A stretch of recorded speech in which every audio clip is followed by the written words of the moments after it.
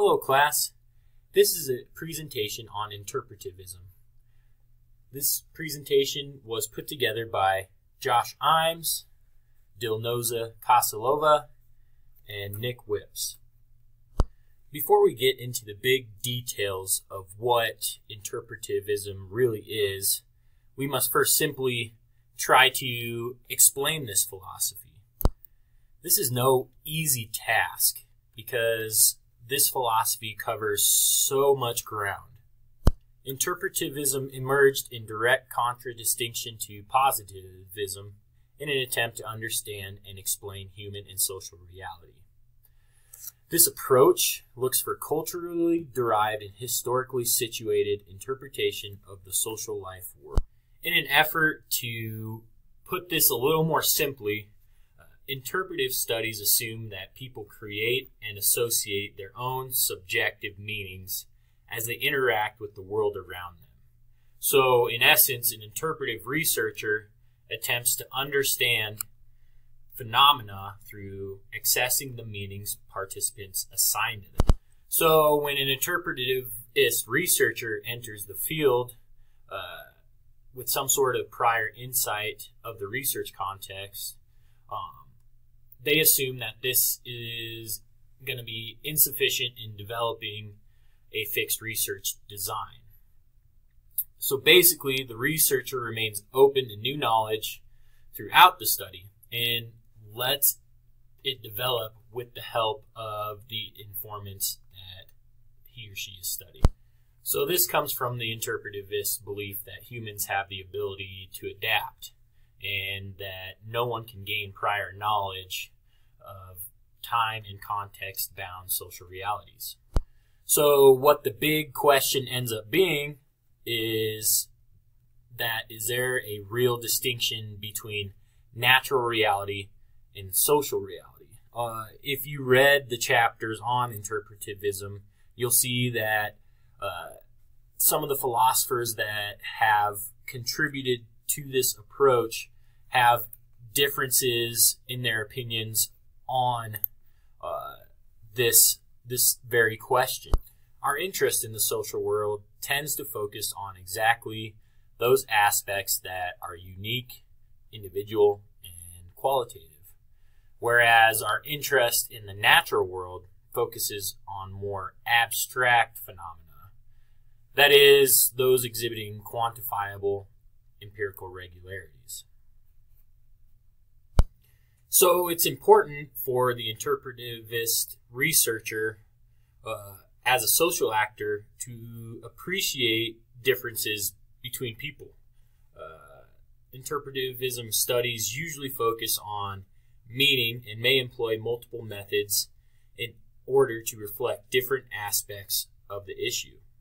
So, with the general idea of what the interpretivist approach is and what a researcher with this mindset does, um, let's look at some of the founding fathers of interpretivism that I had mentioned earlier. So, interpretivism is often linked to the thought of Max Weber, who suggested that in human sciences we are concerned with Verstehen.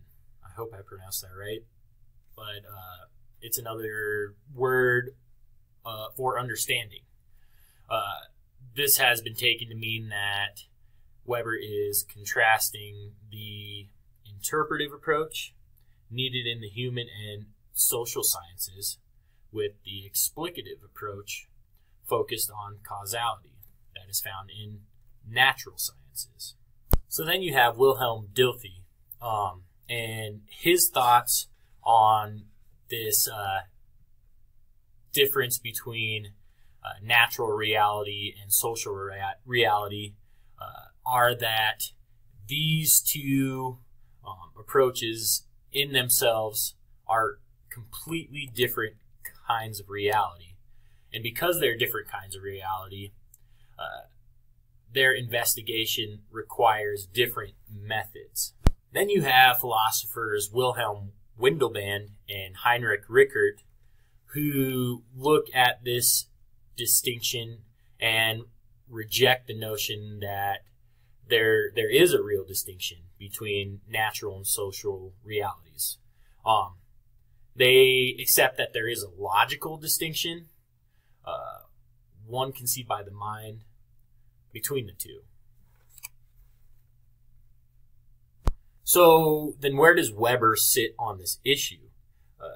On one hand, he agrees with Windelband and Rickert in rejecting Dilthey's real distinction between natural reality and social reality. And he believes or believed that there is only a logical distinction between them. On the other hand, though, um, Weber does not feel that this necessitates the use of different methods in researching these two realms.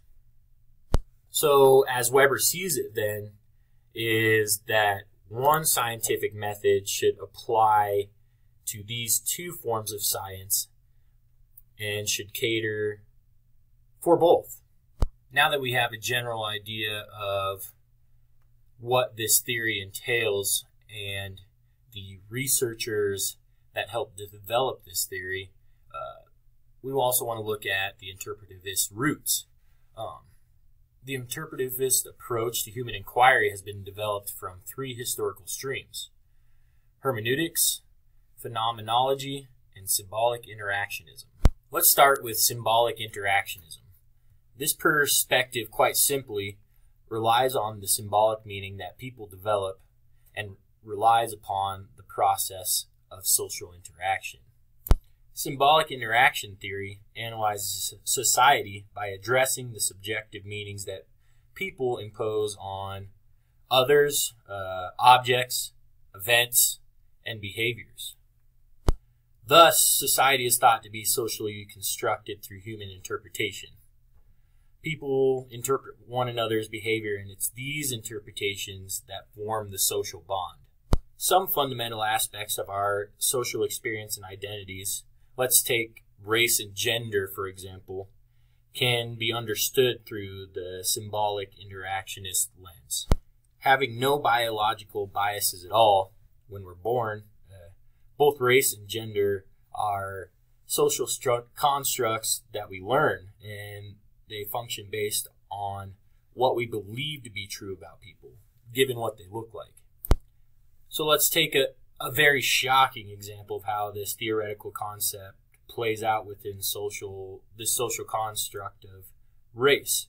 Um, and one of the things that's manifested in, in many minds is the fact that many people, regardless of race, believe that lighter skinned African Americans and Latinos are smarter than their darker skinned counterparts. This phenomenon occurs because of the racist stereotype, um, the meaning that has been encoded in skin color, the symbol um, has just been manifested over centuries. Within symbolic interactionism, there's also differentiated streams, such as the pragmatist view, which was accepted by Dewey and James and was altogether far less critical and was many times liberal, tolerant, and optimistic. Ethnography undertaken from an interactionist perspective has been framed schematically in many ways. Uh, examples of this would include the dramaturgical approach, game theory, negotiated order theory, labeling theory, and grounded theory. Let's talk about phenomenology next. So, within the realm of interpretivism, phenomenology suggests to lay aside our prevailing understandings of those phenomena and revisit our immediate experience of them. Possibilities for new meaning emerge for us, or we witness at least an authentication and enhancement of former meaning. So, in its basic form, phenomenology attempts to create conditions for the objective study of topics usually regarded as subjective. So, this would be consciousness and the content of conscious experiences such as judgments, perceptions, and emotions. And while phenomenology seeks to be scientific, it does not attempt to study consciousness from the perspective of a clinical psychology or neurological perspective. Um, instead, it seeks through this systematic reflection to determine the essential properties and structures of experience. There are several assumptions behind phenomenology that help explain its foundations a little bit better. Uh, first, it rejects the concept of objective research, like I had already said. Um, phenomenologists prefer grouping assumptions through a process, process called phenomenological epoch. Uh, phenomenology believes that analyzing daily human behavior can provide one with a greater understanding of nature. Uh, persons should be explored. This is because persons can be understood through the unique ways they reflect the society they live in. Um, phenomenologists prefer to gather, capture conscious experience rather than traditional data. And finally, phenomenology is considered to be oriented on discovery, and therefore, phenomenologists gather research using methods that are far less restricting than in other sciences. So, phenomenology is quite single minded in identifying, understanding, describing, and maintaining the subjective experience of the respondents. It is subjectivist in its approach and usually uncritical. Uh, the great phenomenological principle is putting oneself in the place of the other. Last but not least, we have hermeneutics hermeneutics as a disciplined approach to interpretation can be traced back to the ancient Greeks, and even then was meant to interpret, to understand, saying, explaining, or translating. So ultimately, hermeneutics is the in depth inquiry into text in which the parts are related to the whole for revealing deeper meanings. Hermeneutics can be extremely broadly applied to many different um, aspects of life uh, etymology, religious traditions, uh, different uh, contexts like uh, sociology, law, political philosophy, and even psychology. Let's just give an example in one of these contexts to try and help explain hermeneutics just a little bit better. So let's let's talk about the Bible. So if we were to talk about her- hermeneutics in the biblical aspect, um, it would be the study and principles of interpretation of the Bible. And there are traditionally four different types of biblical hermeneutics: literal, moral, allegorical, and anagogical.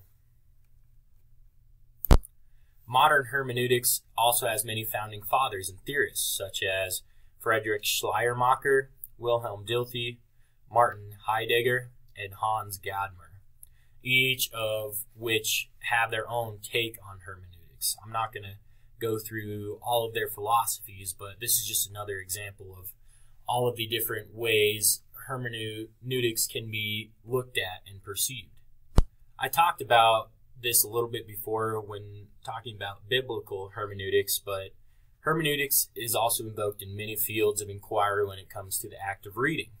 Um, you can include literary criticism and reading comprehension theory with several different approaches to reading certain texts, such as the empathetic approach, the interactive approach, or the transactional mode of reading. Um, a great amount of hermeneutic theory is the prospect of gaining an understanding of the text that is deeper or goes further than the author's own understanding. Once again, we can go back to that uh, biblical hermeneutics example when, when talking about this. So within this structure, you are also bringing parts of an experience to create a whole, which eventually creates a hermeneutic circle. I'm not going to lie, interpretivism is a very broad and complex topic, and it was this chapter was a hard read. But if we're going to leave you with anything, is it is more about understanding human behavior than explaining it. When asked to try to explain his point of view, Max Weber stated, "The time has now come for us to understand human dynamics and not simply measure it." Thank you for your time. Have a wonderful day.